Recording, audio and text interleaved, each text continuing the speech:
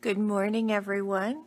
It is very early in the morning um, on Christmas Eve morning, and I was sitting here and getting ready for all the services and festivities of the day, and I thought that I would get hold of you um, today and come live for a couple minutes um, to get us prepared for the day. Um, here at St. John's, we begin worship at 9 o'clock this morning in Petersburg. And then we have a service at 11 at Emmanuel, and that is our normal Advent services because we are still preparing for baby Jesus to arrive. And then this evening we have worship at 7.30 for Christmas Eve service over at Emmanuel Lutheran. All are welcome. Please come out. It's going to be a lovely, lovely evening. And we'll even include having um, a children's bell choir for the first time over at Emmanuel um, for all kids. All kids will be involved. It will be a glorious day. So come on out and enjoy the service.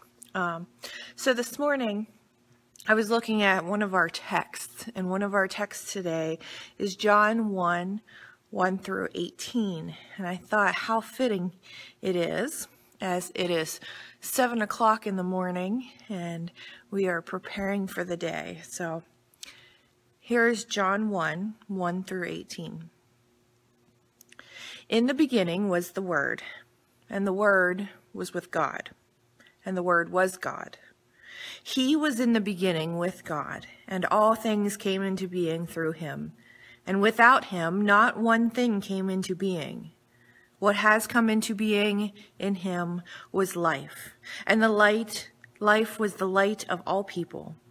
The light shines in the darkness, and the darkness cannot overcome it. There was a man sent from God whose name was John. He came to testify to the light so that all who believe in him through him. He himself was not the light, but he came to testify to the light. The true light, which enlightens everyone, was coming to the world. He was in the world, and the world came into being through him. Yet the world did not know him. But to all who receive him, who believe in his name, he gave power to become children of God who were born not of blood or of will or the flesh of the will of man, but of God.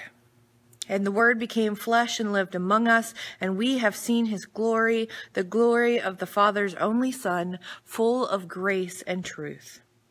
John came to testify to him and cried out, This was he of whom I said, He who comes after me ranks ahead of me, because he was before me.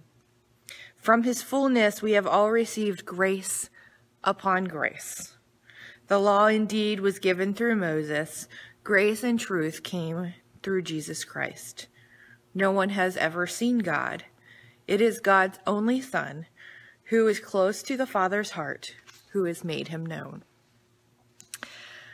What a glorious scripture today as the light is arriving. You can see creeping through the stained glass windows at 7 o'clock this morning. Um, and as we wait for the light to arrive, Jesus Christ, who is not quite in our manger scene yet, who will arrive later. Um, what a glorious text. And to me, as a great reminder today, that grace upon grace, we are loved, we are saved, and that we always have that constant companion in God who was there from the beginning. So I wish everyone a Merry Christmas. I hope that your new year is full of health and happiness for you and your entire family. Um, for anyone who is in the area, again, we have service tonight at 7.30 at Emmanuel. All are welcome. Um, it will be a glorious night. I am excited for the day. Um, and Merry Christmas. God bless. And I will see you all, um, whoever is around, for 9 o'clock um, Monday morning devotions. So, all right. God bless.